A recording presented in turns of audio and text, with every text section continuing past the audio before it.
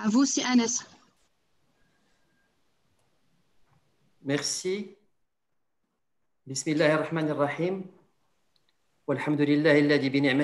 Salihat Chers confrères, chers consoeurs, euh, bonjour et merci d'avoir rejoint ce webinaire qui en fait est la quatrième visioconférence organisée par la Commission sociale et solidarité professionnelle du Conseil national de l'ordre des experts comptables. Euh, nous avons effectivement euh, fait deux visios pendant le mois de Ramadan, suivi par une troisième visio qui a permis de partager les bonnes pratiques entre confrères et consoeurs pendant la gestion du Covid. Et toujours sous la, bannière euh, du partage, nous avons l'immense plaisir aujourd'hui d'avoir trois confrères qui ont bien voulu répondre à l'invitation sur euh, le partage de leur expérience dans la profession, des professionnels qui ne sont pas les moindres. Donc, euh, nous avons l'honneur et le plaisir d'avoir C. Abdouhab Laraqi, C. Milod Stoti et M. Miloudi. Euh, donc, nous avons deux confrères, un confrère de Casablanca, un confrère de Rabat et un confrère de Kinitra. Nous regrettons l'absence parmi nous de Sibrada de Marrakech, qui a eu un, cas de force majeure, vraiment un empêchement qui, qui fait qu'il n'a pas pu être parmi nous. Et l'idée globale, c'était également de s'ouvrir sur les autres régions du Maroc pour ne pas rester sur l'axe Rabat-Casa-Tanger. Mais comme vous le savez, et compte tenu de cette période un peu préparatoire des élections dans les autres régions, ce n'est que partie remise. Donc nous avons également des confrères et des consorts de valeur que nous inviterons euh, très prochainement pour également nous donner la spécificité régionale, comme sur des villes comme Agadir ou Tanger, pour également compléter ce, panorama. Ce panorama. Donc, toujours, euh, on, est, comme j'ai dit, dans le partage, c'est la devise de ces visioconférences. Et l'idée, c'est un échange entre euh, tous les confrères et toutes les consoeurs. Donc, euh, tous les participants au webinaire sont invités à poser leurs questions-réponses via le, les messages qui sont possibles. Et donc, je vais me charger un peu de relayer les, questions-réponses à nos confrères qui sont parmi nous aujourd'hui. Et donc, peut-être pour lancer le débat, euh, avec cet objectif, comme j'ai dit, d'échange de, bonnes pratiques et de conseils de, nos aînés, de nos doyens qui ont beaucoup donné à cette profession. Et donc, j'imagine qu'il y a un passage de témoins, qu'il y a des choses intéressantes qu'on devrait vraiment capturer suite à ce webinaire. Je vais peut-être commencer par, par le début, parce qu'effectivement, aujourd'hui, la profession d'expert comptable est, on est en 2020, il est connu, reconnu, il y a des instances, il y a un ordre, nous sommes aujourd'hui plus de 700 personnes. Mais le jour où nos confrères ont débuté, je pense qu'il n'y avait ni instance, ni, ni, ni, ni beaucoup d'experts de, comptables sur le Maroc. Donc, je voudrais bien commencer par, par le début dans la profession et comment euh, vous êtes, j'allais dire, tombé dans cette marmite d'experts comptables. Donc, peut-être, euh, je, je, lance par si Abdouhab Laraqi. Si, si, tu veux bien oui, échanger avec nous un peu euh, à partir du début de l'histoire. Ben, le début de l'histoire, il, il, date d'un certain temps, faut dire, depuis le début des années 80, donc ça fait un petit moment. Hein. Et c'est une profession qui m'a intéressé dès, dès, le départ. Euh, j'ai fait mes études en France, donc euh, quand je suis rentré, j'ai trouvé tout naturel de m'installer au Maroc et de m'installer à titre indépendant. Euh, évidemment, ça, ça n'est pas aussi facile qu'on le pense au début. Hein. Notamment, euh, au départ, il n'y avait ni réglementation, ni un ordre, ni même, il y avait des associations, il y avait l'AMDEC, il y avait la compagnie des experts comptables, mais c'est des associations qui n'avaient pas euh, une, disons, une, véritable existence au niveau du métier, puisqu'il y avait un très, très, très grand nombre de cabinets qui, qui travaillaient et qui, et qui, euh, disons, qui intervenaient au Maroc euh, sur un grand nombre de sociétés et d'entreprises, hein, mais qui n'avaient rien d'expert comptable, ils faisaient de la tenue de comptabilité tout simplement. Euh, cette période a duré un certain temps, puisque de 80 jusqu'à 80, jusqu'à l'avènement de l'ordre des experts comptables, si j'ai bonne mémoire, c'est 93. Tout à fait. Euh, donc, euh, c'était une, une, période où chacun se battait pour, euh, disons, pour faire sa place. Bon, en tout état de cause, faire sa place, normalement, se faisait par la qualité.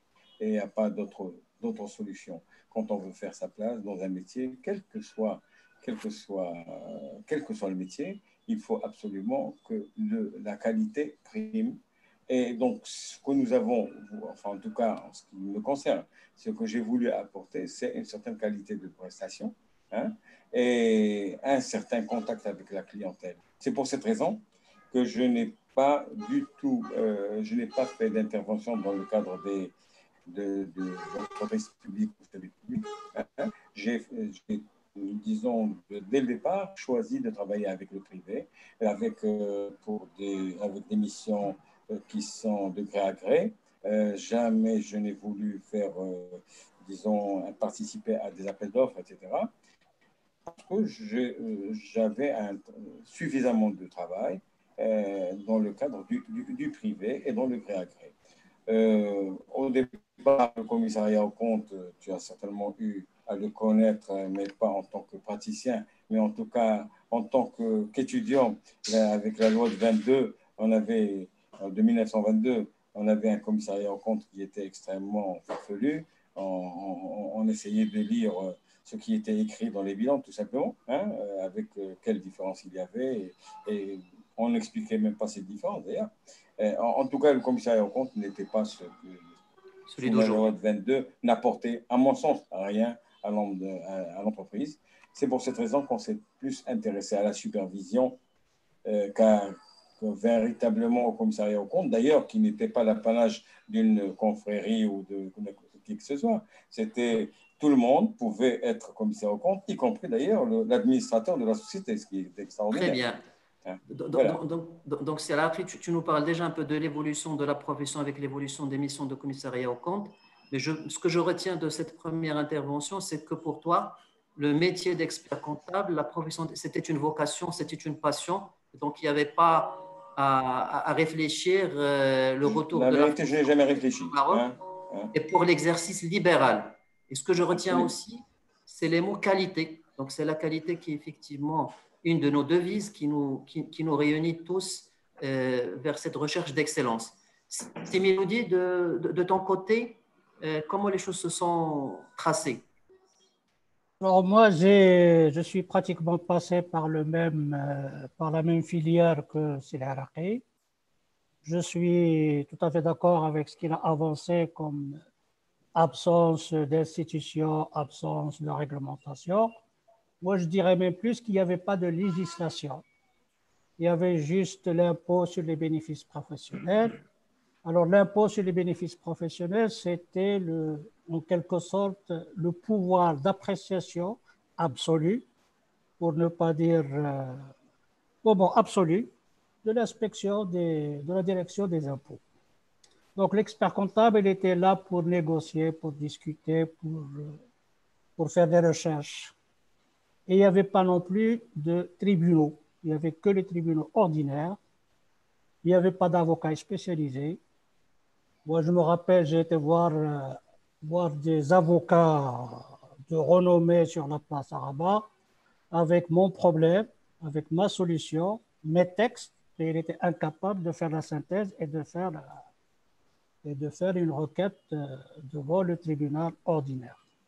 Donc il y avait énormément de difficultés à avoir, un, des informations, deux, il y avait absence de législation. La législation, elle est venue avec l'avènement de l'IS, oui, de l'IR et, de la TVA.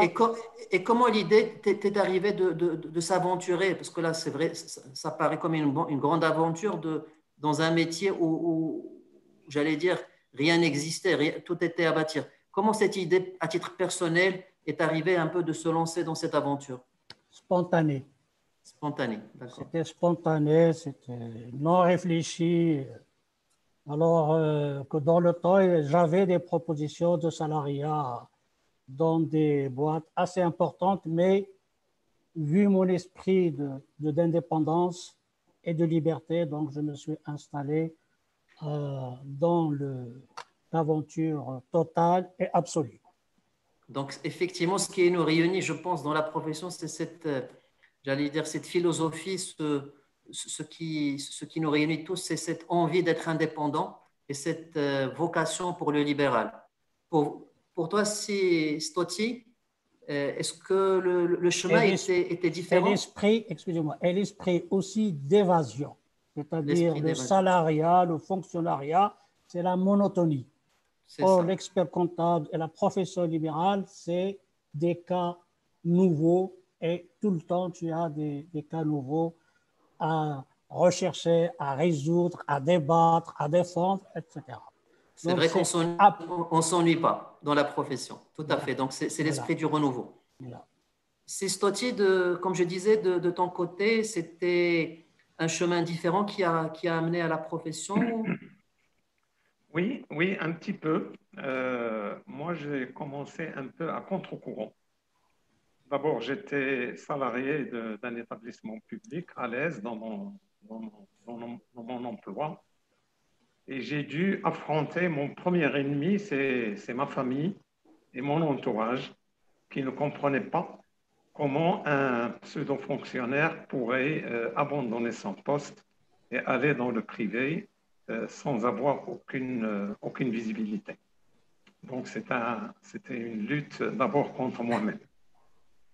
Après, euh, je suis de caractère très, très associatif et je me suis immergé dans la, dans la première association que, que j'ai trouvée en face, c'était l'AMDEC, où j'ai trouvé des, confrères, où euh, on était en train de réfléchir à l'organisation de la profession. Il n'y avait pas d'ordre, bien sûr.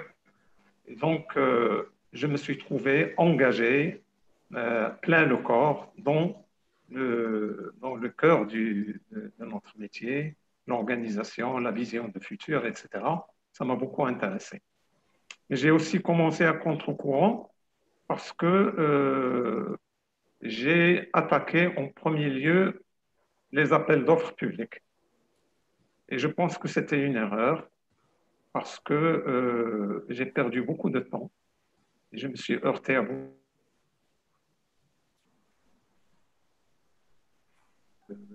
Vous connaissez les appels d'offres dans l'administration et donc courir derrière. Pardon, je ne sais pas si. Il y a un problème de connexion. La, connexion n'est pas très, très bonne, mais voilà, on, on vous perd de temps en temps. Hmm. Pardon? Mzian, Mzian, Mzian c'est bon. Est-ce que vous m'entendez là? C'est très bien. Vous m'entendez? Oui, oui, très bien. Banco.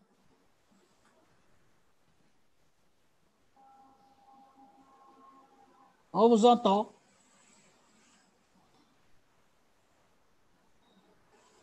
c'est lui qui n'entend pas. je crois. Hmm. Euh, je pense qu'on a perdu Sistotti, mais ce que je retiens déjà de ces premiers mots, c'est en plus de ce qu'on a dit sur la qualité, l'excellence et l'esprit libéral, c'est que l'expert comptable est un homme de l'engagement et un homme des défis. Et donc, c'est ce que je retiens de, ces premiers mots. Et peut-être en attendant le retour de la connexion d'Iel Stotti, si, si, on peut reprendre avec toi, si l'Araqi, parce que tu, nous as, tu as déjà commencé un peu à brosser le diaporama un peu de l'évolution de la profession. Euh, Monsieur Milodi a aussi dit qu'il y avait absence de réglementation et de législation. Donc, globalement, sans rentrer dans, les détails, comment vous avez vécu un peu l'évolution? Ah, Oui, oui c'est Stotti. C'est très bien. Est-ce que vous m'entendez là?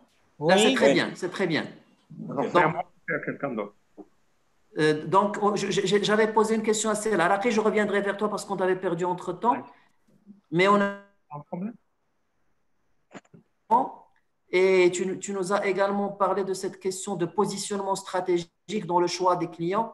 C'est qui avait tout de suite commencé par dire je ne me mettrai pas en concurrent, je vais travailler avec des clients qui vont me choisir.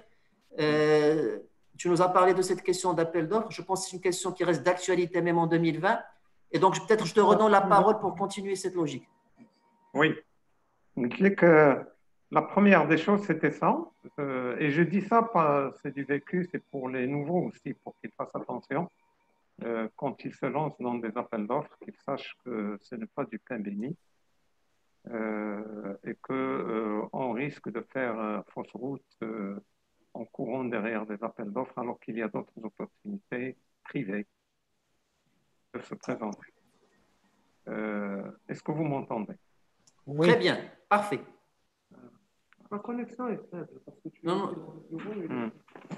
Donc, donc, en tout cas, cette question d'appel d'offres, du choix du client, est-ce que je vais partir chez des clients avec qui je vais me mettre en, concurrence avec d'autres ou là, est-ce que je vais aller, aller aux appels d'offres? Je disais, c'est une question qui reste d'actualité, mais en tout cas, je te remercie parce qu'effectivement, l'objectif de ce webinaire, c'est de partager le vécu.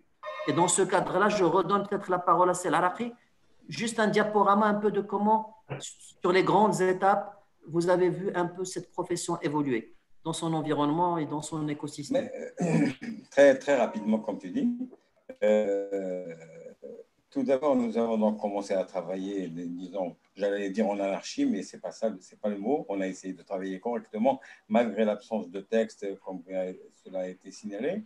Euh, il y avait l'absence d'autres choses aussi. C'est de notes circulaires de l'administration fiscale qui nous, nous aurait permis d'être en, phase avec euh, la, pensée administrative. C'est simple, la note circulaire était une denrée extrêmement rare, pratiquement, qui n'était euh, pratiquement, euh, disons, qui n'était trouvé que par un certain nombre de personnes qui avaient des contacts extrêmement poussés éventuellement. Par conséquent, ça n'était pas la on n'avait pas tous la possibilité d'avoir ce genre d'informations, ou alors si on les avait, on les avait avec un peu de retard. Voilà, ça c'est dans la partie documentaire. Mm-hmm. Bon, jusqu'à l'année, euh, jusqu'à, je crois que cela s'est passé jusqu'à 86, euh, où l'avènement de l'IS, de la TVA et, et de l'introduction du commerce de gros, etc., dans, dans le domaine, disons, dans le viseur de l'administration fiscale, où les gens ont commencé effectivement à s'intéresser à la comptabilité et où nous avons pu avoir un certain nombre de, de, missions portant sur l'organisation de ce genre de commerce qui était, je crois, euh, tout à fait dans l'anarchie la plus totale, peut-être euh, dans notre conception, peut-être pas dans la conception des gens qui en faisaient commerce. Euh, en tout cas, c'était l'administration fiscale, je ne crois pas qu'elle se retrouvait réellement. Mais à partir de 86, il y a eu un certain renouveau au niveau du texte fiscal, au niveau de, des notes circulaires, etc., jusqu'à l'avènement de l'ordre. Après, par la suite, ça s'est beaucoup amélioré, évidemment, petit à petit, pour qu'aujourd'hui, nous puissions avoir toutes les notes et tous les, toutes les décisions administratives euh, pratiquement en temps réel. Donc voilà en, gros les choses. en tout cas, ce sont, ce sont, des détails qui peuvent paraître aujourd'hui anodins pour les absolument, absolument. Qui, qui, viennent de rejoindre la profession. Mais moi-même, effectivement, dans, le début de, ma carrière, j'avais vécu cette question-là de, des circulaires et d'absence d'information. Et donc aujourd'hui que nous vivons la, la digitalisation de toutes les administrations, notamment de l'administration fiscale, c'est des choses qu'on a peut-être tendance à oublier, mais c'est très important effectivement de rappeler tout le chemin parcouru pour arriver aujourd'hui à, la situation que nous vivons. Absolument. Euh, si Mélodie, un, complément un peu aussi sur cette évolution de comment la profession a évolué? C'est tout à fait ça. On passe de l'absence d'information à une inflation d'information. Effectivement, nous avons beaucoup de beaucoup d'inflation, de, d'informations sur Internet, sur les notes circulaires, à travers l'ordre des experts comptables, etc. Et ce que je constate, c'est qu'il n'y a pas suffisamment euh, d'efforts au niveau de l'analyse et des commentaires de la part des professionnels. C'est-à-dire nous restons à un stade universitaire. C'est-à-dire qu'on prend le texte, on le lit correctement, et si on veut défendre un client, on le défend par rapport à cette position, par rapport à cette analyse de l'administration fiscale. Or, moi, j'ai toujours pensé qu'il faut faire un petit peu d'effort d'analyse et de compréhension contradictoire par rapport à la position de l'administration fiscale en vue de faire avancer un petit peu la jurisprudence en matière fiscale et en matière juridique.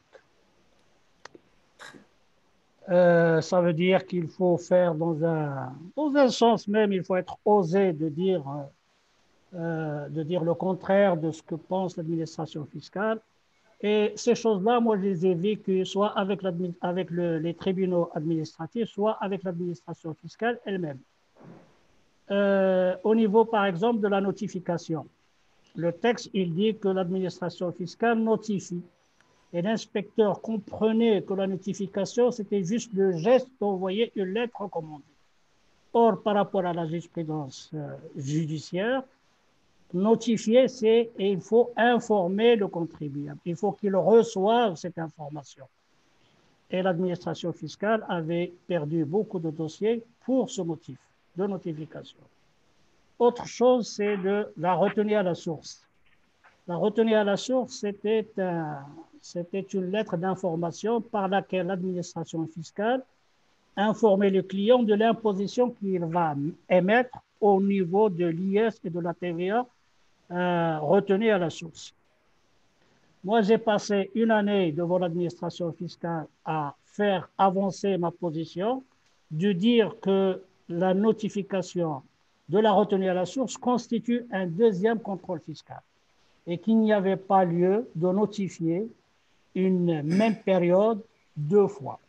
Alors, ça a été effectivement confirmé au niveau du tribunal administratif et au niveau de la Cour d'appel. Très bien. Alors, si je comprends bien, tu nous invites, et je pense que ça, c'est quelque chose qu'on devrait garder comme euh, message à retenir de cette conférence. Tu nous invites maintenant que la matière première est là, qu'il y a une prolifération de textes et de positions, que nous, en tant qu'experts comptables, en tant qu'institution, on ne soit pas uniquement des consommateurs de textes, mais qu'on soit des producteurs également de notre propre jurisprudence. Je crois que ce que tu nous invites à, faire est une question tout à fait importante, légitime. Ça se passe sous d'autres cieux où les ordres, où les compagnies euh, peuvent euh, avoir leur propre euh, production de normes et de textes et de jurisprudence, et, notamment en matière fiscale. Effectivement, aujourd'hui, nous avons une commission fiscale qui a commencé à faire des propositions au niveau de, des lois de finances euh, l'ancienne commission avec Serge Face, que je salue, avait également commencé à être proactive en termes de production, notamment à l'occasion des assises de la fiscalité, avec tout un livre blanc qui a été fait par les experts comptables. Mais c'est vrai que si on est tous d'accord sur notre propre jurisprudence, on va être beaucoup plus fort pour entraîner un effet de masse euh, plutôt que si chacun, de son, dans son coin, de manière isolée, essaie un peu de défendre des positions euh, individuel. Je reviens, je, je, reviens vers toi, Au risque, au risque de se tromper. Il ne faut pas avoir peur d'avoir une position erronée. Il ne faut pas avoir peur. C'est dans la contradiction qu'on avance. Exactement. Si on prend par exemple le régime de la TVA, il y a le régime de l'encaissement et le régime de débit. Quel est l'intérêt d'opter pour un régime de débit? Il n'y a aucun intérêt. Alors qu'en France, le régime de débit, il permet à celui qui paie la TVA de le récupérer immédiatement. C'est-à-dire le fait générateur de la TVA, c'est la date du débit, de la facturation. Au Maroc, il n'y a aucun intérêt. Mais pourquoi ne pas avancer dans ces, dans ces subtilités, dans ces détails de la fiscalité par l'intermédiaire de l'ordre des experts comptables? Très bien. Sistotti, un, un, mot pour, pour, que je pense que tu as été euh, interrompu. Oui, Excusez-moi. Alors, peux répéter la question, s'il te plaît. En fait, on, avait commencé un peu à, brosser un tableau de l'évolution, de comment, comment la, la profession a évolué. Et, ma question, de manière un peu peut-être plus spécifique pour toi, c'est que au début, vous étiez une dizaine. Je pense que le nombre d'experts comptables se comptait sur les doigts d'une main. Comment vous avez vécu un peu l'augmentation du nombre des confrères avec, l'évolution un peu aussi des mentalités et surtout ma question par rapport à l'évolution de la culture du client marocain? Hmm. Bon, euh, d'abord, euh, il y a une évolution palpable euh, de la relation de l'expert comptable avec son écosystème, notamment avec l'administration. Nous sommes passés d'une situation de, travail en solitaire en un travail de groupe où il y a une institution qui a pris ses marques et, qui a maintenant, qui est devenu un, interlocuteur incontournable pour euh, la préparation de certains textes ou même pour l'interprétation de la législation. Donc, je pense que notre profession a gagné déjà ce pari d'être reconnu comme un interlocuteur privilégié de l'administration. Deuxième évolution, c'est toujours la rupture de, cette, de ce travail de solitaire, c'est qu'il y a euh, des espaces d'échange entre les, professionnels. Et sur, de, ce, de, cette plateforme, je voudrais saluer tous les échanges qui se font sur WhatsApp et sur, euh, sur tous les réseaux qui, qui, permettent au moins de voir que les experts comptables se posent des questions, posent des questions et quelquefois ont des réponses ou des, des, des avis de leurs confrères.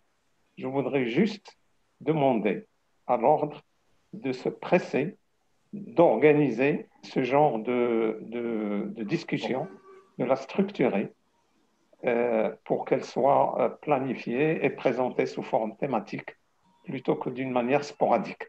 Parce qu'elle n'est pas très... C'est vrai qu'il y a beaucoup de questionnements qui se posent et ça montre qu'il y a un intérêt et qu'il y a un échange entre les experts comptables. Voilà pour, euh, pour, le, pour le, les deux évolutions palpables pour moi c'est la reconnaissance de notre entourage. Il n'y a pas seulement que l'administration, il y a également les universités, il y a les radios qui, qui, qui invitent des experts comptables à se prononcer sur certains aspects, il y a euh, tout, toutes les sortes de médias. Donc il y a une reconnaissance d'un corps qui est là et il va falloir cultiver cette reconnaissance et la maintenir. Et de l'autre côté, entre nous, entre nous, il faut organiser le dialogue et l'échange d'expériences et de problématiques que se posent.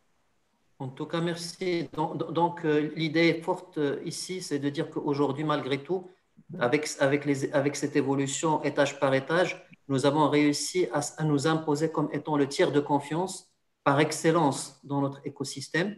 Et ceci, je pense, c'est une très, très bonne chose. Maintenant, effectivement, il y a des questions d'organisation qui se posent en interne par rapport à des choses qui se font, qui méritent d'être mieux structurées. Et tu as bien donné l'exemple de, des échanges un peu très riches qui, qui, qui peut-être se déperdissent euh, parce qu'ils ne sont pas capturés, euh, archivés pour l'histoire et, et, et, qui ne permettent pas aujourd'hui d'avoir une vraie jurisprudence à laquelle on peut avoir recours parce qu'ils ne sont pas stampés par, par, euh, par, le, le, sceau des instances. Je pense que c'est un appel qui n'est pas tombé dans, des sourds d'oreilles. Je sais que nous sommes plusieurs à être connectés aujourd'hui. Nous sommes 40 personnes. Parmi nous, il y a des gens, des instances. Et donc, ce message bien capturé et bien relayé. Maintenant, je voudrais revenir aussi parce que l'idée, c'est de partager votre vécu avec, euh, avec les, les confrères et consoeurs qui ont rejoint la profession. Il n'y a pas de stratégie bonne ou de stratégie mauvaise. Il y a, il y a chacun a, a peut-être une stratégie différente. J'aimerais bien que vous nous ouvriez un peu votre cœur euh, et votre vécu par rapport à la stratégie que vous, que vous, avez adoptée et comment vous avez fait évoluer votre propre stratégie dans vos cabinets par rapport au choix de vos clients, le choix de vos missions, le choix des activités.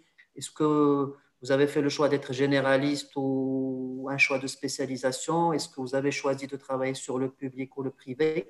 Donc, euh, la parole est à toi, s'il te plaît. Écoute, euh, comme je t'ai dit tout à l'heure, euh, mon choix s'est porté de prime abord sur le privé sur des opérations qui sont euh, pour des clients qui viennent me chercher plutôt que moi, je vais les chercher. Je n'ai jamais démarché un client en réalité. Euh, ce sont des clients, c'est un peu le bouche à oreille d'une part, et c'est un peu la tâche d'huile. Tu commences par un client, de, masser deux, etc. Et si tu, et si euh, ton, et, comment dirais-je, ta prestation te paraît correcte, euh, ne t'en fais pas, c'est ton client qui fait la publicité, qui te fait la publicité nécessaire. Et donc j'ai toujours travaillé dans ce sens, à savoir essayer d'améliorer ma façon de travailler et à améliorer la façon de travailler de mes collaborateurs. Et pour ce faire, j'ai toujours travaillé sur essayer de trouver des méthodes et que j'ai conçues moi-même d'ailleurs, conçues au niveau interne, euh, pour que, que, le contrôle aussi, le contrôle des travaux de mes collaborateurs se fasse le plus facilement possible, le plus rapidement possible. Et qu'il peut y avoir aussi de l'autocontrôle par les collaborateurs. C'est ce que j'ai essayé de faire. Je pense que ça a donné des, résultats satisfaisants, ils ne sont pas toujours extraordinaires, mais bon, euh, pour la carrière d'un expert comptable, je pense que ça s'est fait correctement. Et cela m'a aidé en outre d'être, disons, tout le temps été membre de, de l'ordre, plutôt membre, membre, actif de l'ordre. au niveau des... On en parlera tout à l'heure si tu veux. Euh, cela m'a aussi aidé parce qu'en réalité, cela m'a fait rencontrer, euh, rencontrer des amis, des anciens amis ou des nouveaux amis. Euh, qui, avec qui je d'ailleurs je me suis associé et que ah, ah, ah alors, alors peut-être on en parlera on, on, en, parlera peut-être tout à l'heure. Tu as parfaitement raison de soulever cette question. Mais, mais je retiens de, de, ton message quelque chose que, que tu as fait dès le début mais qui à mon sens reste d'actualité. C'est que la meilleure manière de fidéliser un client, c'est encore une fois, on va pas le, on va, on va, le redire et le redire, c'est le travail de qualité. Et donc, pour avoir un nouveau client, il faut que le client déjà qui, qui, qui est servi soit satisfait par la qualité. Et c'est la meilleure manière de, de, de, de fidéliser les clients et, et de, faire la croissance de son chiffre d'affaires. Euh, tu as parlé effectivement d'un autre sujet qui me semble important, c'est la responsabilité de l'expert comptable. Donc, nous restons responsables de nos travaux, mais dans un, dans un système de délégation des travaux. Donc, nous avons des équipes à qui nous déléguons des travaux. Donc, il faut tout un, il faut tout un système de méthodes et d'outils de, gestion de cabinet pour, euh, pour que cette délégation se fasse, j'allais dire, sans le moindre des soucis, avec un, niveau d'assurance qui soit le plus raisonnable et le plus fort possible. Euh, sur ce sujet-là, j'ajouterais peut-être de ma part que, compte tenu du niveau de maturité aujourd'hui de la profession, je pense qu'il est un appel. Il est temps aujourd'hui que nous puissions développer des outils de gestion de cabinet. Qu'il faudrait que notre temps soit sur l'analyse, on l'a dit, sur la production euh, qualitative. Et pour ce faire, je pense que nous avons besoin dans nos cabinets d'outils de gestion beaucoup plus performants, puisque la digitalisation et la numérisation sont là de, manière mondiale. Le métier même d'expert comptable va évoluer. Un certain nombre de choses vont commencer à se faire autrement. Donc, je pense qu'au niveau du Maroc, euh, nous avons besoin de plus d'outils de gestion de nos cabinets. Le dernier webinaire qui a été organisé par le Conseil national portait sur le logiciel d'audit. Donc, je pense que ce sont des choses qui sont inscrites dans le plan stratégique de, ce mandat. Et il est très important que très rapidement, qu'on se fasse outiller par des, par des, des, outils qui nous permettraient de mieux déléguer, mieux gérer et être à l'air du temps avec la digitalisation. C'est Mélodie, euh, de, ton côté, comment, quelle, stratégie adopter pour, pour, fidéliser les, également cette question importante de fidéliser le capital immatériel? Parce qu'un cabinet, son capital, ce sont les, les, clients, mais, mais tout d'abord, ce sont ses équipes et ses collaborateurs. comment tu as fait un peu pour euh, avoir euh, autour de toi une équipe fidèle, performante? Euh, je crois, n'a pas répondu à votre question à savoir est-ce que les cabinets doivent être des généralistes ou des spécialistes? Je crois qu'il n'a pas répondu. Il a parlé en général de la qualité de travail, mais je ne sais pas dans quel domaine. Est-ce de la supervision ah, Désolé, mon ami. désolé, mon ami. Bah, écoute, euh, euh, pour, pour, euh, pour, dire deux mots à ce, à ce propos, mon cabinet, il a voulu rester généraliste tout en s'occupant Évidemment, je ne fais pas peut-être des problèmes, programmes d'organisation ou autre, ni de, de, la formation. Par contre, tout ce qui est consultation juridique et fiscale, c'est un peu notre partie. Euh, mais outre la comptabilité qui est un peu, j'allais dire, le pain quotidien. Mais c'est surtout en matière juridique et fiscale. Voilà. Donc, c'est la spécialisation. Ouais, euh, c'est une spécialisation. Ouais, effectivement. Donc, on ne peut se faire connaître qu'à travers ce conseil juridique ou fiscal. Et à partir du moment où on arrive à régler des problèmes qui paraissent insolubles, ça veut dire qu'il faut se démarquer par rapport à, aux généralistes, à, à, la masse, à celui qui prend le texte et qui le lit et qui le voit sous forme de conseil. Donc, il faut une analyse, euh, une analyse de, une analyse et une conclusion pertinente dans l'intérêt du client pour sauvegarder ses intérêts et pour le défendre contre soit l'administration fiscale, soit dans le cadre d'un tribunal de commerce ou d'un tribunal administratif. Moi, je pense que c'est dans ce contexte qu'on peut évoluer très facilement et avoir une renommée sur la place. C'est pas à Ah. travers la comptabilité, c'est pas être généraliste. Là, on reste comme un comptable agréé, comme un comptable, comme une fiduciaire normale, etc., etc. Surtout que le client, en ce moment, il ne fait pas de différence entre un expert comptable qui lui apporte un conseil pertinent et un comptable qui lui ramène la facilité. C'est-à-dire que, comme il m'a dit un jour un client, euh, Monsieur Intel, il sait faire des déficits. Et pour lui, c'est une spécialité. Faire des déficits. euh, Encore une fois, tu, tu- tu- tu nous régales avec des messages euh, donc avec, avec des messages très, très pertinents. En tout cas, moi, ce que j'ai retenu, c'est cette notion de valeur ajoutée différentielle. exactement. Un expert comptable doit absolument apporter une valeur ajoutée différentielle à ses clients. Je retiens également, tu l'as dit d'une manière très subtile, que un expert comptable a aussi un rôle d'éducation de son client.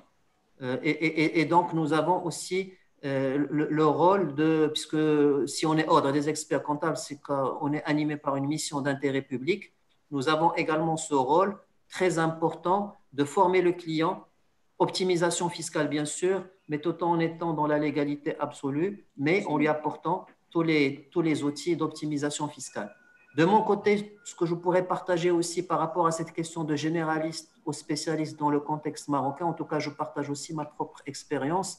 Et également peut-être c'est ce que même l'IFAC récemment dans des, des rapports a, a publié suite à des sondages, c'est-à-dire il invite tous les ordres, tous les experts comptables à ne pas lâcher le cœur du métier, à ne pas lâcher les missions qu'on peut qualifier un peu de, de classiques, parce que c'est grâce à ces missions classiques qu'on peut accéder à des missions à plus forte valeur ajoutée. Donc, euh, il y a une invitation à rester sur le cœur du métier parce que c'est le point d'entrée et de départ pour drainer de nouvelles missions. Mais je pense que par rapport au marché euh, du conseil et de l'audit au Maroc, le marché n'est pas suffisamment large et donc on est obligé quelque part d'être généraliste et de pouvoir faire euh, proposer une palette assez large d'offres de services. Ceci étant, il faudrait que chacun de nous puisse avoir une couleur, une niche. Donc, il y a monsieur consolidation, il y a monsieur juridique, il y a monsieur fiscal, il y a monsieur IFRS. Et donc, en plus de notre palette large et de, prestations de services, chacun de nous, certainement, a intérêt à, à avoir une couleur et une reconnaissance sur le marché par rapport à une, euh, j'allais dire, à une valeur ajoutée dans un domaine ou une niche bien particulière, parce qu'il est clair aussi que le, le monde d'aujourd'hui n'est pas le monde d'il y a 30 ans, donc il y a plus de complications dans le monde des affaires. Les, affaires deviennent de plus en plus difficiles et pour pouvoir suivre avec un peu cette pléthorie, on voit dans les lois de finances, il y a tellement de choses qui changent d'année en année, on a besoin de, s'entourer de spécialistes euh, dans, les niches et les métiers. Je ne sais pas ce que tu en penses, Assis Totti. Oui, euh, moi je pense que l'exercice de notre profession est un exercice complet qui est plein de défis. Euh, le premier, un, enfin je vais en citer quelques-uns. Un des défis, c'est qu'il faut, se, il faut d'abord maîtriser son métier. Il faut maîtriser son métier par l'exercice professionnel et personnel pour mieux transmettre. Il ne faut pas oublier que ce que vous pouvez transmettre, c'est ce que vous concevez dans votre tête d'une manière très claire. Donc il faut exercer. Il faut pas, moi, je ne veux pas transmettre de conseils, je veux juste partager avec mes confrères ce, genre de- d'expérience. C'est que en exerçant un métier, vous le transmettez mieux à vos collaborateurs et à votre entourage. Et puis, il va falloir, il faut aussi partager. Partager pour minimiser les risques, parce que c'est un métier qui comporte beaucoup de risques professionnels, des risques qui, risquent, euh, qui peuvent être coûteux. Donc, le partage est quelque chose de très important. Et je, reviens au forum qui permettent quelquefois de corriger le tir. Ça, c'est le premier défi. Le deuxième, il faut se construire une réputation professionnelle. Ça, c'est un autre défi.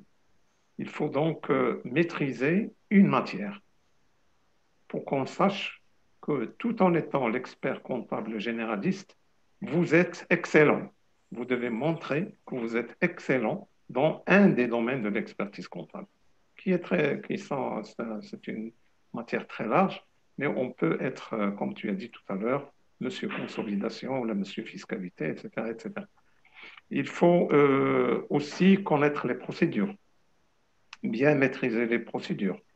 Euh, dans la construction de, de la réputation professionnelle, le client voudrait s'adosser sur quelqu'un qui donne des signes de réussite. Donc même la présentation personnelle et vestimentaire, même euh, les signes extérieurs, ils doivent montrer un peu d'opulence. Je ne veux pas dire qu'il faut euh, être bling-bling, mais euh, il faut montrer que vous êtes accompli, que l'expert comptable, c'est quelqu'un d'accompli, quelqu'un qui donne de la confiance au client et avec qui le client peut avoir un sentiment de pouvoir réussir lui-même. Et puis le troisième défi, c'est de se construire un réseau. Vous ne pouvez pas travailler tout seul. Il faut se construire un réseau. Et comment le construire?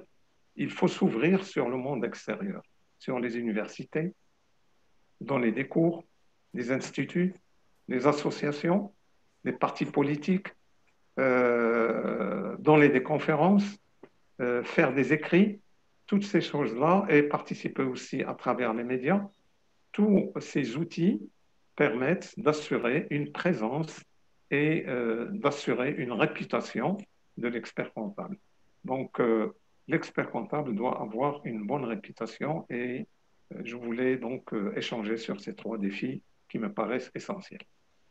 Merci beaucoup. Moi, je, retiens absolument cette question de réputation. Je pense que c'est important de vraiment s'arrêter sur cette question-là puisque nous sommes dans ce marché-là et nous sommes normalement pour, plusieurs années. Et donc, il ne faut pas avoir la logique du one-shot. On n'est pas en train de faire du one-shot. Euh, il faut construire sa réputation et la préserver et, vraiment faire attention à durer. Parce qu'on peut faire du one-shot, euh, mais, mais, mais, ça ne va pas être dans la durée. Et effectivement, on revient toujours à cette question de l'isolement. Il faut sortir de son isolement et vendre de la confiance au-delà de la technicité. Et, ce que tu as dit, tout ce qui est autour de la personne de l'expert comptable est très important. Donc, il faut vendre aussi euh, l'expert comptable intellectuel, l'expert comptable acteur de sa cité, euh, qui contribue dans les réseaux, dans les universités et dans les écrits. Je pense que la question des écrits peut-être est le parent pauvre aujourd'hui dans notre profession. Il, y a peut-être des choses qui se font, mais qui ne sont pas j'allais dire, euh, capitaliser, recueillir et, consolider euh, de, manière formelle. Euh, vous avez aussi vécu certainement une, évolution dans la perception de, la concurrence dans la profession. C'est une profession qui a démarré avec une dizaine d'experts comptables. Aujourd'hui, nous sommes 700. Est-ce que c'est une question qui se pose est-ce que le marché a évolué, le marché de la profession comptable, et comment, quel est votre regard par rapport à cette évolution de la concurrence dans la profession? Je commence à poser peut-être les questions qui, qui, risquent de fâcher. C'est la euh, la concurrence, tu sais, comme tout à l'heure, déjà je t'ai parlé de, de, la qualité, et je crois bon, que si on, est, euh, on a une, une prestation de qualité, peu importe cette concurrence, euh, il faut savoir, bon, c'est vrai que le nombre d'experts comptables a, a, été multiplié par, euh, par 10, euh, ou enfin par 15. Hein. Ça, c'est tout à fait vrai sur une période de 20 et quelques années. Mais il faut aussi savoir qu'il y a deux choses qui ont évolué de la même manière. C'est premièrement le nombre d'entreprises et deuxièmement, comment on appelle ça, le, besoin des hommes, des hommes, des hommes d'affaires à avoir de l'information fiable. Et donc, par conséquent, euh, il y a un travail supplémentaire qui se greffe, euh, qui s'est greffé sur nos travaux euh, classiques et qui fait qu'on ne s'arrête plus maintenant à la comptabilité pure, on devient de véritables conseils on fait presque du conseil de gestion sans, nous intégrer évidemment dans la gestion, sans nous initier dans la gestion de l'entreprise, mais le, chef d'entreprise se base un peu sur nos travaux et pour, faire, pour, prendre des décisions qui lui semblent importantes dans son, dans son entreprise. Donc, peu, le fait qu'il y ait 700, 700 membres de, de l'ordre euh, n'est pas important, me semble-t-il. Ce qui est important, c'est l'évolution euh, de l'environnement, qui j'espère va continuer à, à évoluer euh, correctement et dans le bon sens, à savoir euh, le besoin d'information, à savoir le besoin de qualité dans l'information. Euh, tout à l'heure, c'est Milo Sotti parlait, parlait de, du contact actuellement que nous avons avec l'administration, avec les tribunaux et autres. J'espère que cela va continuer parce qu'on ne peut que qu'apprendre de que eux, ils apprennent de nous et nous d'eux certainement un certain nombre de choses.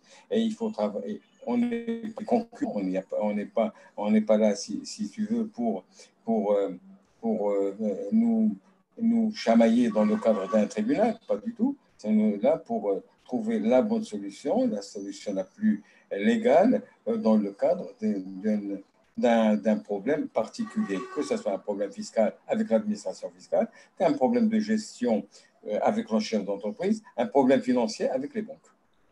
En tout cas, je te remercie pour ce point de vue positif, parce qu'effectivement, la profession doit continuer à intéresser les, nouveaux entrants et les jeunes, et de dire que même s'il y a une augmentation du nombre des, professionnels experts comptables, le besoin de l'économie euh, le besoin du chef d'entreprise ont également, se sont également multipliés. Et donc, normalement, euh, il ne faut absolument pas qu'on sombre dans des, des comportements euh, de dumping entre nous, parce que c'est vraiment, euh, ça, ça, ne sert absolument à rien, parce que normalement, même en termes de commandes publiques, parfois on voit des, des comportements qui font que des appels d'offres qui, qui, qui, qui passent avec des, des montants très loin et en deçà même de l'estimation de l'administration. Ça veut dire que normalement, avec une, euh, il ne faut pas, faut pas sombrer dans, le dumping. Et donc, je te remercie pour ce message positif qui est là pour nous tous, mais également pour les nouveaux entrants. Je voudrais également saluer la présence parmi nous de Madame Mouna Malaman, qui, est également membre de la commission euh, de, solidarité professionnelle euh, et, donc qui, nous écoute et que j'invite à ne pas euh, hésiter à également donner son point de vue ou poser des questions complémentaires au besoin. Donc, euh, on continue euh, ce point de vue et ce regard un peu sur le comportement des nouveaux entrants et, l'évolution des besoins du client. Euh, Similodi, la région de Kinitra, comment, comment ça se passe? Moi, Je pense qu'il n'y a pas que l'aspect dumping financier de la question a effectivement, je pense qu'il y a un, besoin en formation déontologique. C'est-à-dire, il faut apprendre aux jeunes ce qui est toléré, ce qui est possible, ce qui est interdit, ce qui est... Il faut une formation pour changer un petit peu ou former une mentalité de, de confrères. Il n'y a pas que l'argent. Euh, il y a aussi le mouvement du personnel de cabinet. Vous avez des personnels, lorsqu'il est formé après deux ans, trois ans, quatre ans, il change de cabinet et va ailleurs. Et l'expert comptable, il n'est même pas au courant où il s'installe. Et il s'installe chez un confrère. Le confrère ne réagit pas parce qu'il y a des secrets professionnels, parce qu'il y a, il y a tout l'aspect éducatif de, de, la question. Moi, je pense que l'ordre doit s'atteler à cette question déontologique et de formation des jeunes dans ce domaine. Très bien. On va revenir à, la place de la déontologie et de l'éthique dans notre profession. Euh, après avoir terminé avec cette question un peu de l'évolution de la concurrence dans notre profession, Sistoti Oui, alors je m'intéresse euh, bien sûr à la concurrence et l'éthique euh, au niveau de notre profession, de, de nous, experts comptables. Je ne m'intéresse pas, je ne veux pas discuter des autres corps euh, qui, qui, sont là et qui sont beaucoup plus nombreux que nous et avec tous les dégâts collatéraux qu'ils qu provoquent euh, pour notre métier. Donc, je, me, je, je voudrais juste insister sur une chose. Moi, j'ai un principe, c'est de ne jamais, jamais recruter un collaborateur d'un confrère, même pas un coursier. Pour moi, je reçois tout le temps des demandes et ma politique, c'est de ne pas répondre aux demandes qui viennent de collaborateurs qui, dans leur CV, ont déjà travaillé avec un expert comptable. Donc, c'est un principe. Le deuxième, le changement de client. Quand un client se présente, il faut comprendre que des fois, des clients veulent changer d'expert comptable. Ma politique, c'est d'appeler le confrère, de discuter avec lui, de lui dire de présenter ses factures qui ne sont pas payées, de demander au client d'abord de régler et après on discute. Ça, c'est une, un, ce sont des principes que j'ai toujours adoptés et euh, ils sont euh, immuables. Je continue toujours sur, euh, sur l'éthique. Il est un peu regrettable, et puisque tu as parlé des nouveaux arrivants, l'éthique, elle ne concerne pas que les nouveaux arrivants, elle concerne aussi les anciens, tout le monde. Il faut insister pour que notre exercice soit un exercice éthique. La concurrence déloyale, elle ne, fait que nuire à notre image. Les dumpings dont vous avez parlé, elle ne fait que nuire à notre image il va falloir régler cette question au niveau institutionnel. Et nous avons un code d'éthique dans notre profession qui a été adopté, qui a été envoyé à tous les confrères, et je suis sûr que personne ne l'a lu de A jusqu'à Z. Je pense que l'ordre devrait organiser disons des, des séances de communication sur le code des devoirs professionnels pour que chacun sache qu'on peut exercer et pour exercer, il faut exercer avec honorabilité. Voilà. Bien, en tout cas, c'est vrai qu'on peut être fier aujourd'hui que lors du dernier mandat, après des dizaines d'années d'attente dans les couloirs du secrétariat général du gouvernement, on a fini par avoir un code des devoirs professionnels euh, qui, est aujourd'hui officiel. C'est une, euh, une étape, mais euh, ton message est, très clair. Il faudrait qu'il y ait de la sensibilisation, de la formation. Et surtout, tu as été très pratique dans tes réponses. D'ailleurs, il y avait une question qui a été posée dans le forum par rapport à cette question de collaborateurs et, comment on devrait, de manière éthique et déontologique, gérer les changements de collaborateurs entre nous. Et tu, as très bien exprimé ta position et également sur le, les changements de clients. Donc, c'est des choses qui arrivent, que les, que les clients changent d'expert comptable. Mais, euh, et donc, euh, si on permet à un client d'entrer chez nous et avec des factures impayées pour l'ancien confrère et consoeur, certainement, c'est des choses euh, qui vont nous arriver sans aucun doute. Peut-être sur la question d'éthique et de c'est toi qui était membre du Conseil national et et, qui tu t'occupais de cette question de manière spécifique. Est-ce que tu peux aussi partager avec nous ton expérience sur ce volet-là?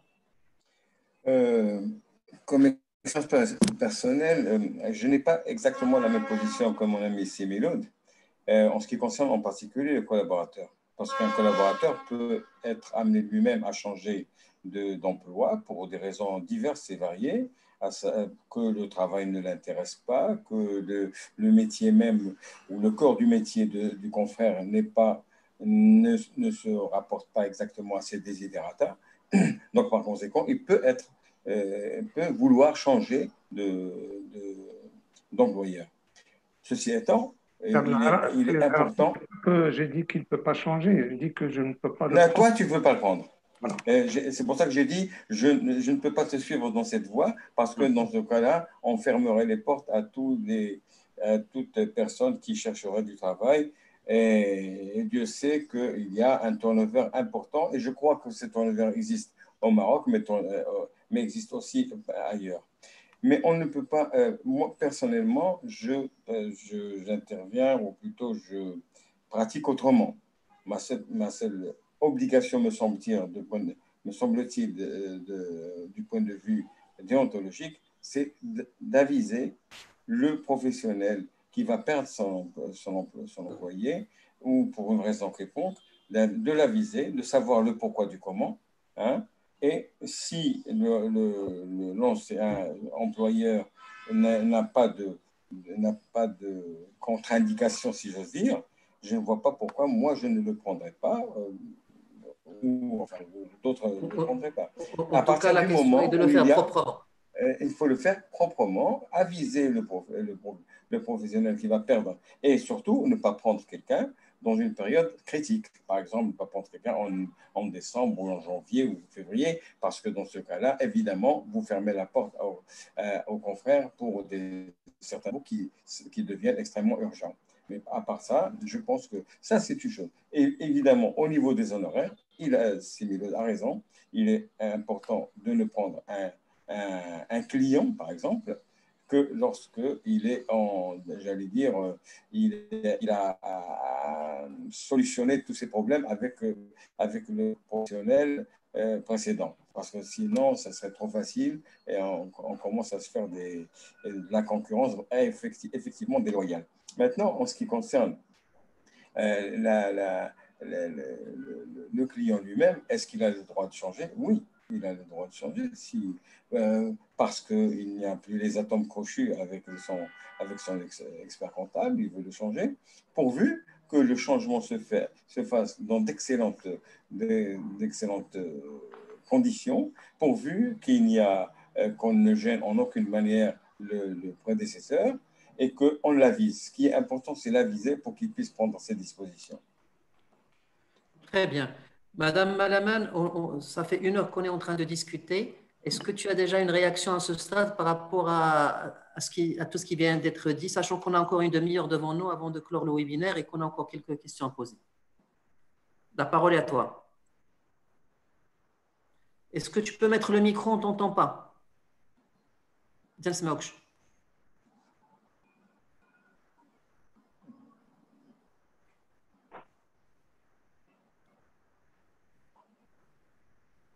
Micro.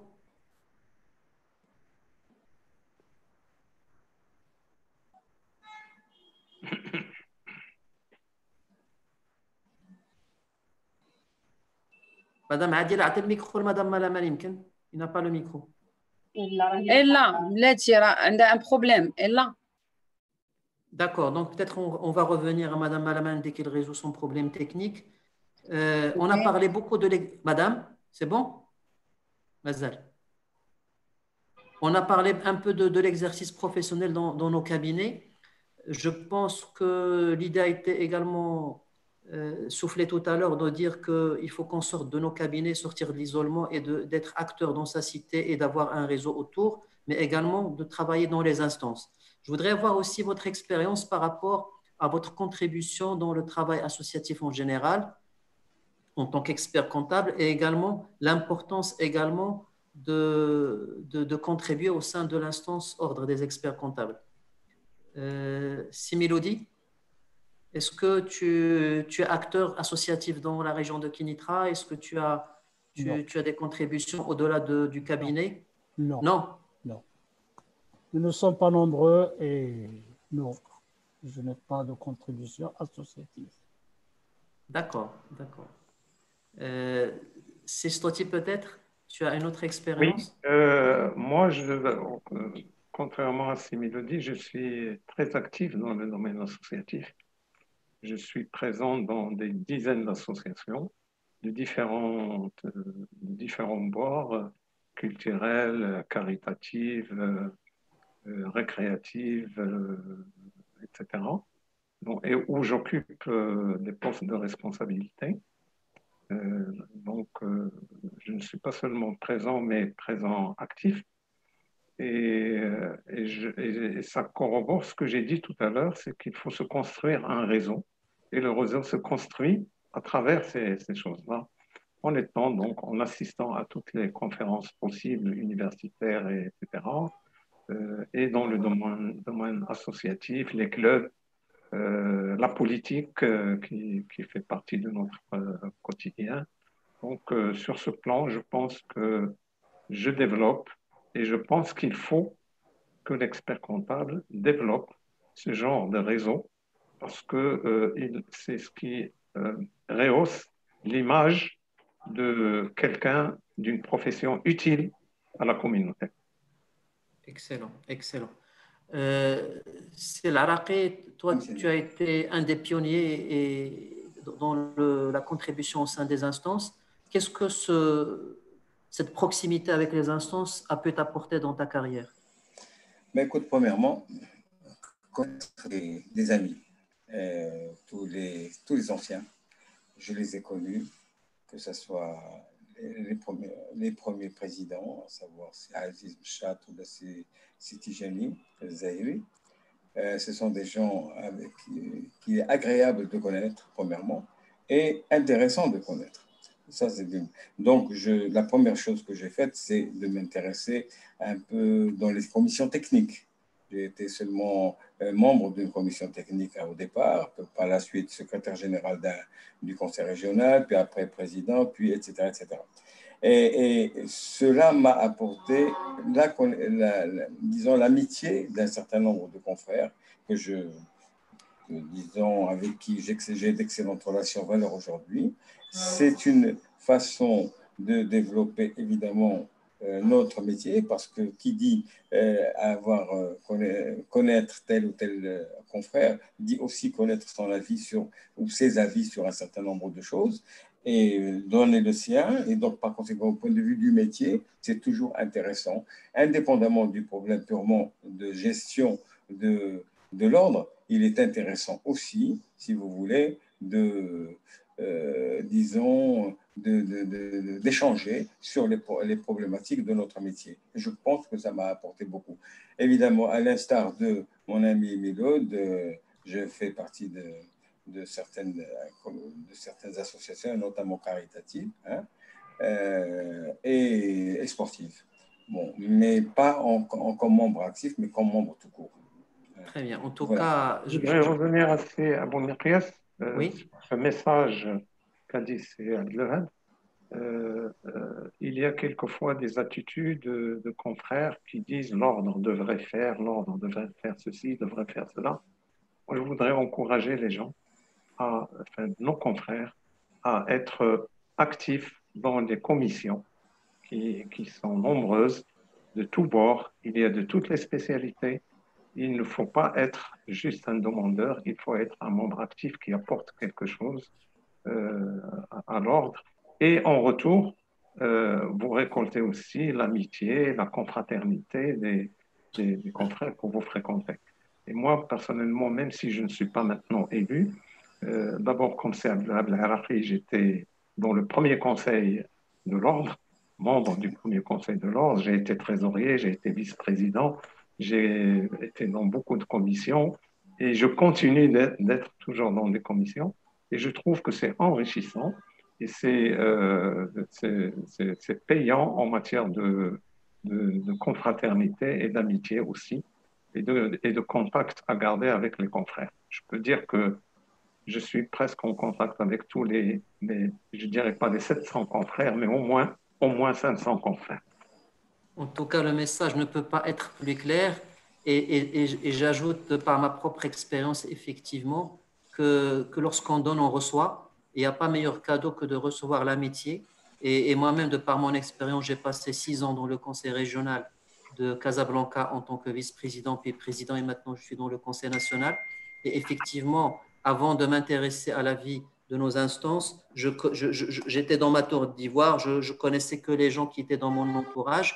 Et aujourd'hui, je, je, peux prendre mon téléphone et appeler tel ou tel confrère ou consoeur pour partager sur des questions et, avec une très grande facilité. Et, et alhamdulillah, on a, on a donné, mais on a gagné beaucoup en amitié, en aisance à casser l'isolement. Et donc, effectivement, c'est un message à nous tous.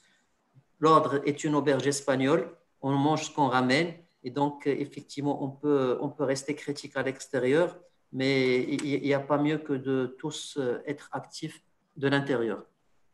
Ces mélodies, notre métier est un métier où la charge de travail est très importante, où le risque d'être un peu euh, très pris au détriment de la vie privée, de la vie familiale, est très présent. Moi, je me rappelle que j'avais demandé à ma fille il y a quelques années, alors qu'il était encore jeune, est-ce qu'il voulait devenir expert comptable?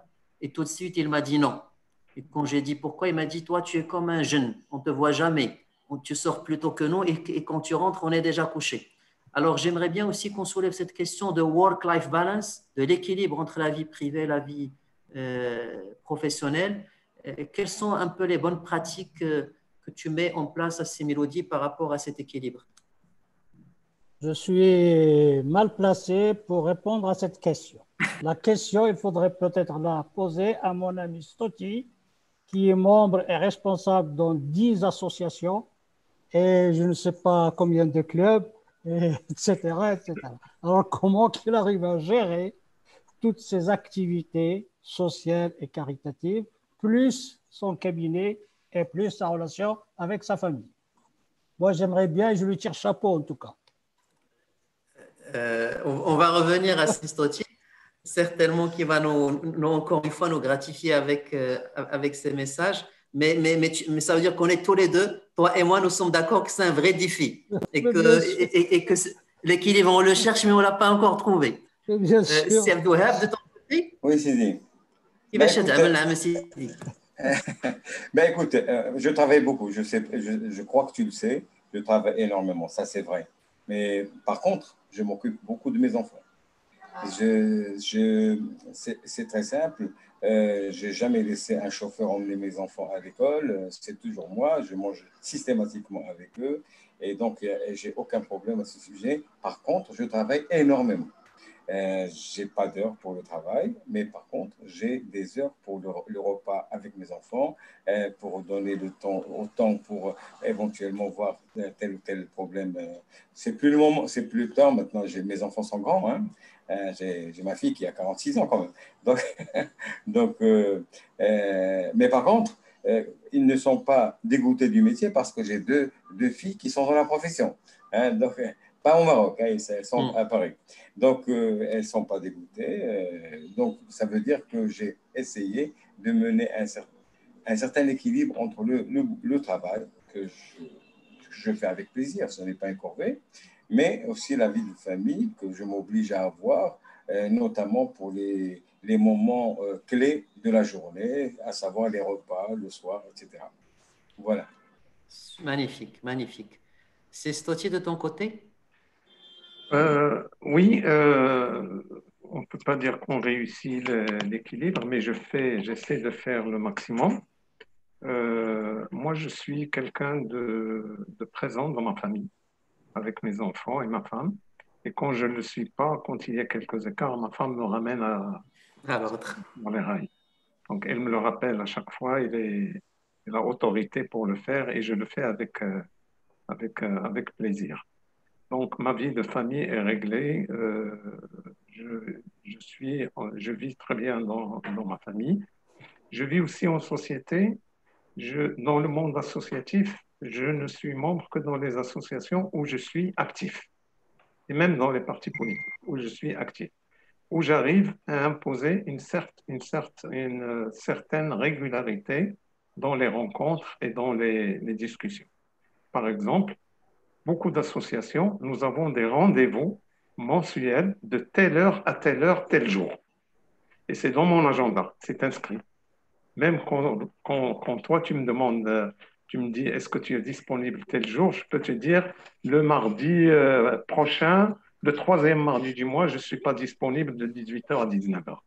Donc, euh, j'ai planifié dans mes agendas ce genre de rendez-vous qui sont fixes, euh, où je sais que je suis corps et âme avec telle ou telle organisation. Et après, je suis dans mon travail. Je suis dans mon travail. Euh, dans mon travail, je travaille beaucoup, mais aussi je délègue. Ça, c'est important. Il faut déléguer, il faut, enfin, c'est pas facile, mais je délègue. Comment C'est que j'essaie de transmettre.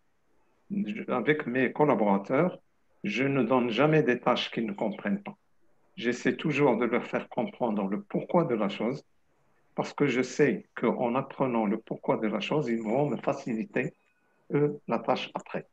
Et donc, ça facilite la délégation. Ça facilite euh, la délégation du personnel. Donc, tout le bureau fonctionne euh, et ça me permet de travailler un peu plus à l'aise. Merci beaucoup pour ces échanges, en tout cas très personnels et qui viennent du cœur. Euh, il nous reste un petit quart d'heure, mais à mon avis, je voudrais aussi parler de deux sujets qui me semblent importants dans notre profession, qui sont importants pour la, pour la durée et pour la performance des cabinets. Et, je voudrais ici parler, euh, parce qu'effectivement, connaissant beaucoup de personnes autour de, moi, plusieurs projets de, de cabinets, plusieurs projets d'associations exceptionnels avec des personnes exceptionnelles, ils sont restés un peu sur le paperboard, sur le papier, sans, jamais réussir sur le terrain. Euh, parce qu'il euh, il y a peut-être une spécificité, parce que peut-être il y a des prérequis. Je voudrais aussi avoir un peu, s'il vous plaît, votre retour d'expérience par rapport au, projet de collaboration, de partenariat que peut-être vous avez eu à, vivre pendant l'expérience que vous avez réussi, que vous avez, et, avec encore toujours ce, regard de message pour, les gens qui, qui peut-être aujourd'hui sont en train de réfléchir à, à, cette question de partenariat. Et ma deuxième question, qui est une question naturelle, euh, serait sur la transmission euh, des cabinets. Donc peut-être on commencerait avec euh, par rapport à, à, ton expérience de partenariat et de collaboration avec d'autres confrères et consoeurs et, pour aborder par la suite la deuxième question de la transmission. D'accord. euh, Oui, cher ami. Voilà. Euh, en ce qui me concerne, j'ai toujours cru, ou j'ai toujours pensé plutôt, que notre métier ne pouvait pas se faire euh, seul. Il fallait nécessairement être en, en, groupe pour pouvoir travailler correctement, ne serait-ce que pour donner un, disons, un aura beaucoup plus intéressant au, cabinet. Et, de ce fait, dès le départ, si vous voulez, euh, disons après une dizaine d'années d'exercice, je me suis associé avec un confrère euh, qui, euh, je crois, qui a quitté la profession actuellement. Et, on est resté associé deux ans ou trois ans. Ça n'a pas donné, de, disons, les résultats escomptés, mais cela ne m'a pas euh, enlevé l'idée que la meilleure façon de travailler, c'est de travailler avec plusieurs personnes. Et c'est ce qui m'a amené à une deuxième association où je suis resté six ans avec des confrères de valeurs que vous connaissez certainement, euh, notamment mon ami Lamrani, Boukhri, Mouli Ahmed euh, Enfin, on était cinq dans ce, au départ et quatre euh, à la fin. Mais malheureusement, ça n'a pas, ça n'a pas été jusqu'au bout, peut-être parce que nous n'avions pas la, le même état d'esprit ou la même, les mêmes finalités pour, euh, pour cette association. Et j'ai fait une troisième pour te dire que je, pour te dire que je suis. je tenais, je, je absolument à, avoir une, euh, à être avec quelqu'un.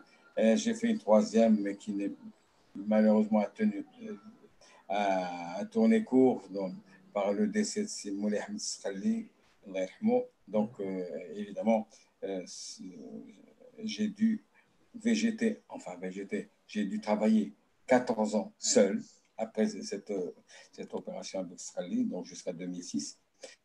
Et de 2006 à 2019, j'ai travaillé seul en essayant d'avoir des collaborateurs, en essayant d'organiser au mieux de, mon, de mes possibilités mon cabinet pour que je puisse euh, faire tous les contrôles que je voudrais faire de façon assez rapide et, et surtout assez sérieuse. Et j'ai, euh, l'âge aidant, il fallait, il fallait trouver là où les personnes qui, qui me semblaient être les meilleures pour reprendre la main où je devais m'arrêter tout simplement. J'allais dire par chance, parce qu'effectivement, c'est une chance, parce que j'ai trouvé un garçon extrêmement sérieux, extrêmement intéressant, avec une excellente formation, un excellent, un excellent euh, passé, j'allais dire, professionnel. Et donc, on s'est associé, euh, je l'ai pris comme partenaire depuis la fin de l'année dernière et dans une optique de la reprise totale du cabinet sur un certain temps. Parce que de toute façon, on ne peut pas, on comme euh, je te disais hors, euh, hors antenne, euh, on ne vend pas des petits pains, on vend une activité et une, une qualité de prestation et un nom, etc., etc. Donc, par conséquent, il faut absolument garder la main avec la personne qui doit reprendre un certain nombre d'années, à mon avis 3-4 ans un peu moins si la personne est, capable de le faire, 3-4 ans, et puis passer la main à 100%. En tout cas, c'est mon optique, c'est de passer la main à 100%. Hein. Et on a commencé par, le commencement, j'allais dire, et aujourd'hui, j'y suis, j'y reste encore de, quelques années, deux, trois ans, le temps, si la santé euh, veut bien me, me l'accorder, si Dieu veut bien m'accorder le temps de, de, passer la main de façon correcte à mon, à mon jeune associé. Et voilà, donc les choses, me semble-t-il, se passent correctement pour le passage du témoin. Alors, ce que je retiens, c'est que l'association et le partenariat et la collaboration avec d'autres confrères restent une finalité, que, que, plusieurs formules peuvent exister et que même si les, les formules ne réussissent pas, il ne faut pas baisser le bras, il faut continuer à chercher la meilleure formule. Et celle qui semble aujourd'hui marcher, c'est celle de former son propre jeune associé euh, pour, pour, pour une reprise en main. Si Mélodie, de ton côté, connaîtra peut-être je ne sais pas si tu as vécu de l'expérience qui peut-être peut répondre à la, à la question de l'équilibre de la vie privée, vie, euh, vie professionnelle. Si on est deux, peut-être on peut se partager euh, un, peu le travail. Je ne sais pas si tu as une expérience par rapport à ça que tu voudrais aussi partager avec les autres participants. J'ai eu exactement la même expérience que c'est l'Iraqi. Donc, trois associations foireuses. Oh là là. Il va falloir, qu'on fasse une visioconférence que sur la transmission. Je vais retenir ce thème. Je crois que c'est intéressant à trois, trois, associations foireuses. Pourquoi? Parce que les gens, ils ont l'impression qu'ils n'ont plus besoin de ton association. Ils ont commencé à zéro, ils ont été formés, ils ont compris le métier, et après, ils ne voient plus l'intérêt d'être associés avec vous. Donc, ils cherchent tous les moyens pour se séparer de cette association. Euh, c'est l'Iraqi, là, c'est une association, en fait, c'est une précession du cabinet. C'est une association une... précession du cabinet. Un sage de témoin. Et, mais euh, ma question, il reste de savoir pourquoi une de vos deux charmantes filles n'ont pas pris le, la relève en étant Parce qu'elles sont très bien. Oui. Parce qu'elles sont très bien, elles sont, sont à Paris, elles, sont, elles ont. Oui, elles ne sont pas en sécurité ou là? Non, mais parce que les, la vie étant ce qu'elle est, et, elles sont là-bas, d'une part, et puis euh, elles ont d'excellents, euh, une excellente, disons, euh, une excellente carrière, et je pense que, je crois qu'elles ne pourraient pas l'avoir ici, je pense. Euh, honnêtement, très bien. je ne pense pas qu'elles puissent l'avoir ici. Elles sont très bien là où elles sont. Testotti, de ton côté? Donc, je pense qu'on est loin euh, d'avoir cet esprit d'association. C'est un état d'esprit. De mon côté, je peux dire que, alhamdoulilah, j'ai été chanceux pour les deux questions, partenariat et transmission. En matière de partenariat, j'ai eu un seul partenariat qui est toujours là. Et euh, ce partenariat, s'il est là, c'est parce que je pense, j'estime qu'il a été construit sur euh, certains piliers. Le premier, c'est que nous avions fait la même école. Euh, la même discipline dans des écoles différentes, mais c'était la même, la même école. Le, le deuxième, on avait chacun son terrain de jeu. On avait le monsieur procédure, le monsieur compte, le monsieur fiscalité. Donc, on ne s'empiète pas, on ne se marche pas sur les pieds. Chacun a sa spécialité. Et quand un client me demande une question spécifique fiscale, je m'adresse au spécialiste, je, le dirige sur le, partenaire euh, spécialisé. On n'était pas dans le même cabinet, chacun a, son, ses bureaux, mais euh, on, est, on travaillait en, on travaille toujours en, symbiose.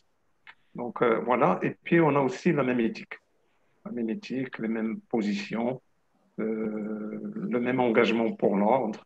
Euh, nous avons été de toutes les commissions de l'ordre, donc voilà, nous vivons ensemble le métier et je pense que c'est ça qui est important.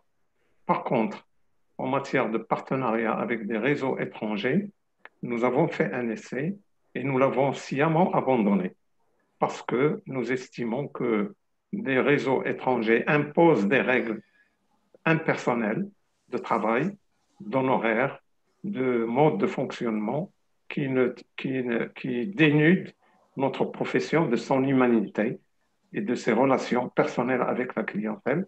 Donc nous avons abandonné euh, ce genre de partenariat pour euh, garder un partenariat international sous forme d'association avec des cabinets, etc. Il n'y a pas de, partenariat structuré euh, hiérarchique.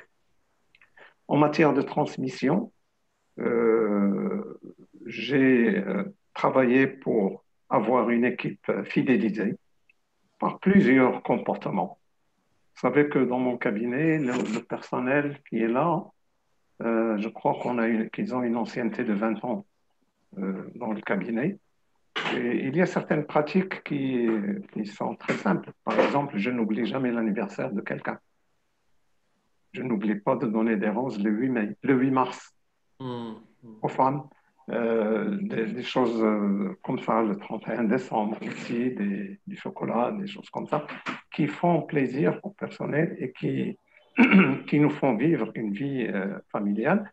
Et le gâteau sur le cerise, sur la cerise, enfin, cerise, cerise sur le meurtre. Nous devons marcher sur la tête. mon fils a, a a de lui-même vu le, fonctionnement du cabinet, il a vu comment on travaille, il a, euh, il a scruté, euh, disons, le métier. Il s'est lancé de lui-même. Il a eu son diplôme d'expertise comptable et aujourd'hui, il est associé dans le cabinet. Voilà pour la. De là, félicitations.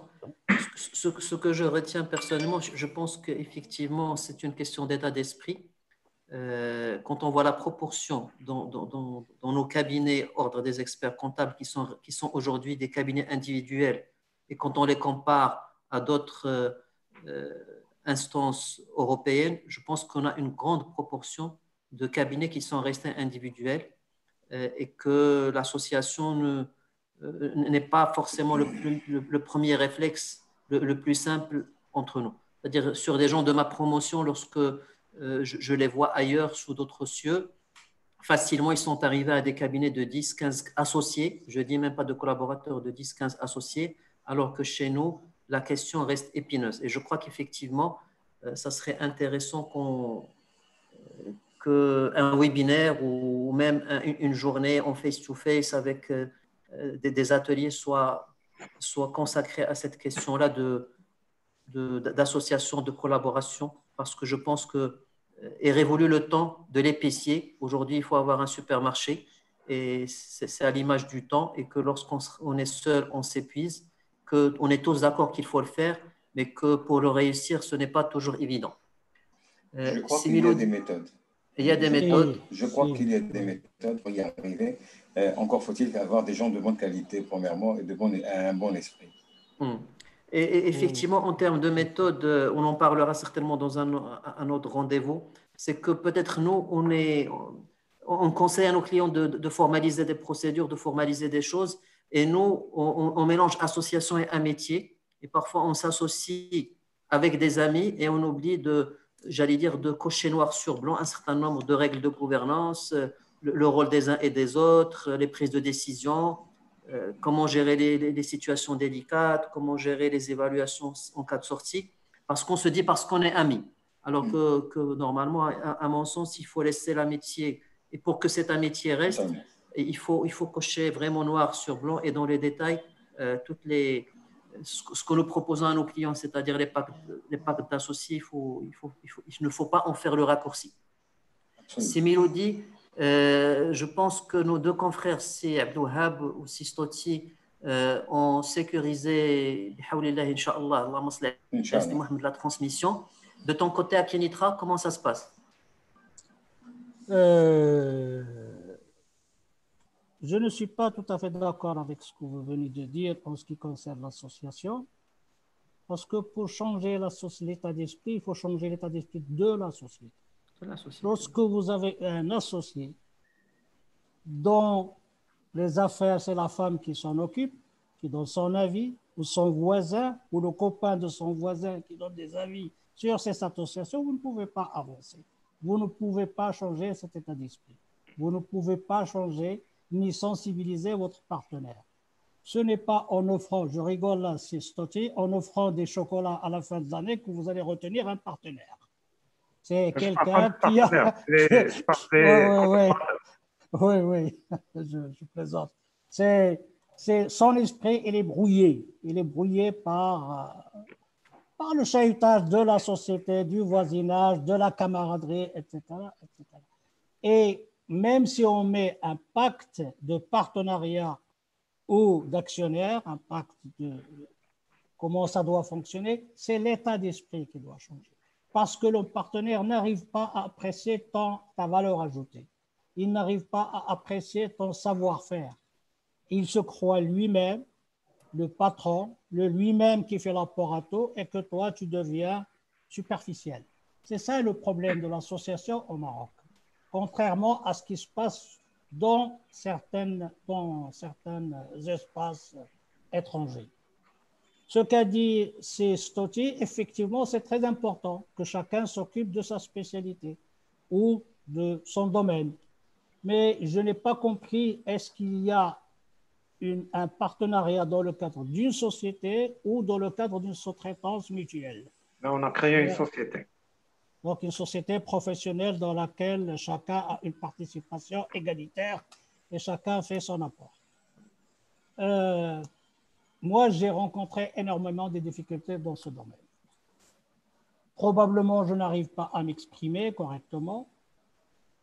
Sûrement, je n'arrive pas à faire valoir mon apport et mon expérience et que je me laisse faire en quelque sorte. Voilà le, le problème. En- en tout de cas, ce c'est une question, comme on de l'a dit. défaillance. Comme on l'a dit, c'est une question très grande. Euh, Je crois que les instances, l'autre, devraient jouer un rôle de facilitateur à la fois des, des associations et de la transmission. Et certainement, c'est un sujet où, où- où la commission euh, va revenir. Euh, il est 18 heures, on- ça fait une heure et demie que nous sommes ensemble. Je, je réitère mes remerciements à tous les participants à ce webinaire. Nous, nous- nous sommes 42 personnes, 41 personnes. Et donc, euh, peut-être le mot de la fin à chacun d'entre vous.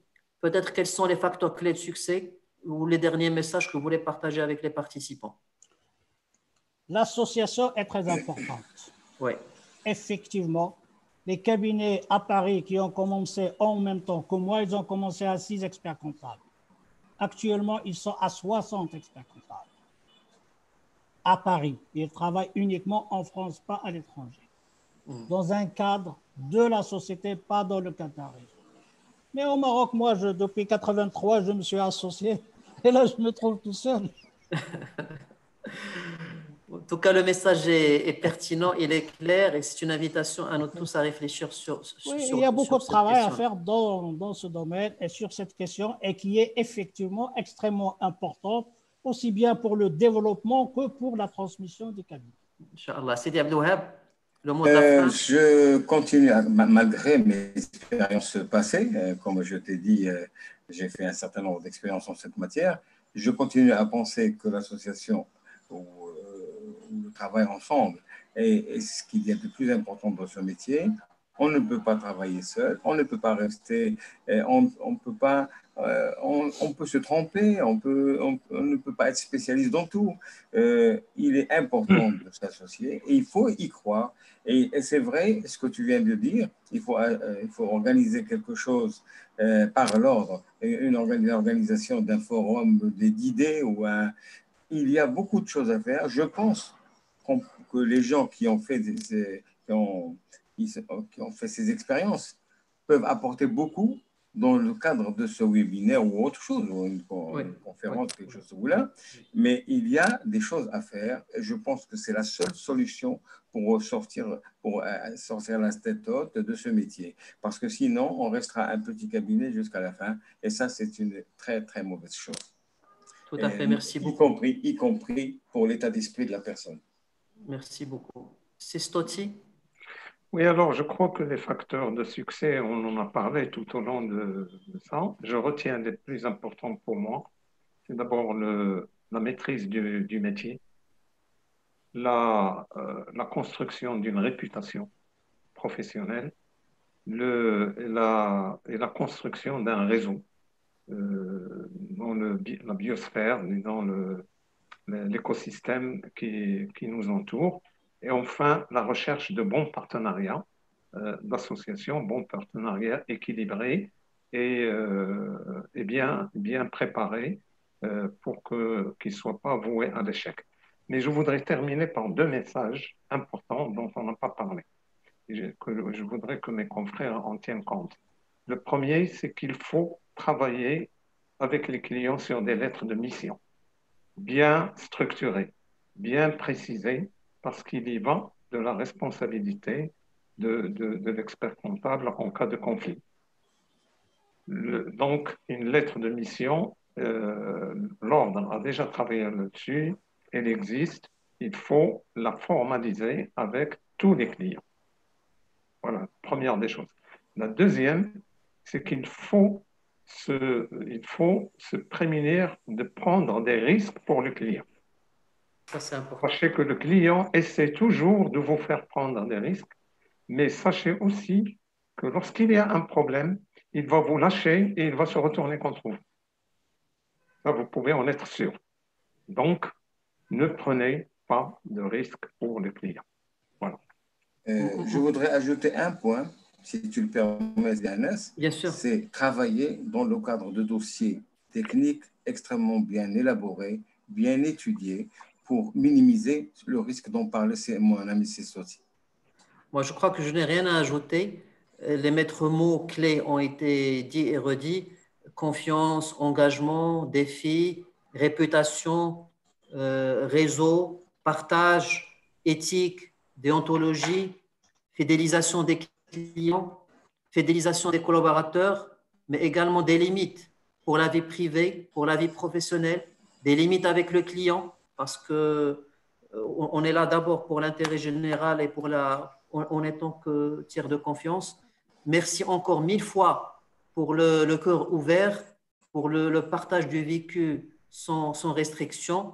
Merci à tous les participants qui nous ont rejoints et nous allons, Inch'Allah, continuer dans, dans cette logique de partage entre nous pour euh, se focaliser peut-être sur un sujet de transmission et de partenariat. Euh, merci à tous Ou, très bonnes vacances si on ne se voit pas entre-temps. Et إلى الملتقى بحول الله وقوته. شكرا جزيلا. Inch'Allah. Merci à vous. Merci. Merci, mon ami.